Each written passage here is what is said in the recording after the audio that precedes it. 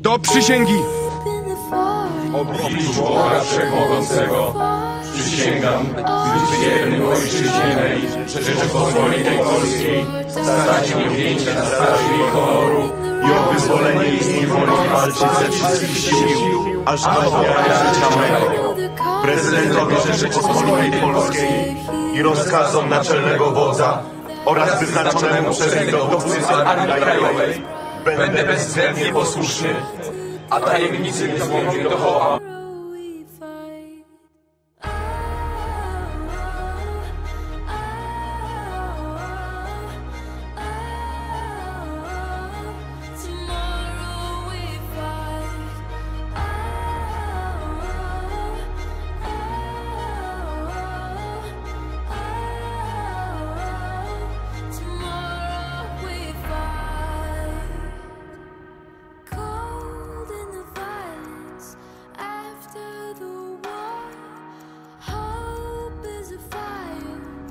Komendancie, melduję wykonanie zadania.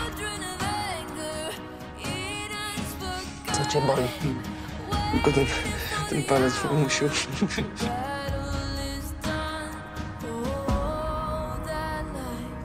Janek, nie zaczęliśmy tej wojny.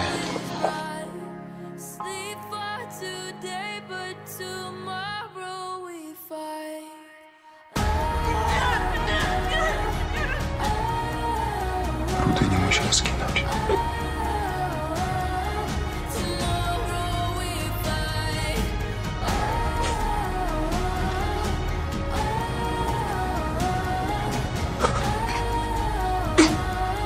Niech żywi nie tracą nadziei. Kiedy trzeba, A kiedy trzeba, na śmierć idą po kolei, jak kamienie, przez Boga rzucane na szaniec.